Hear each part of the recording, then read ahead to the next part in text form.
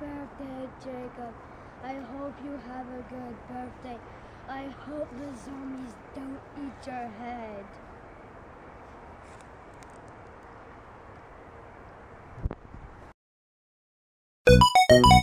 your head.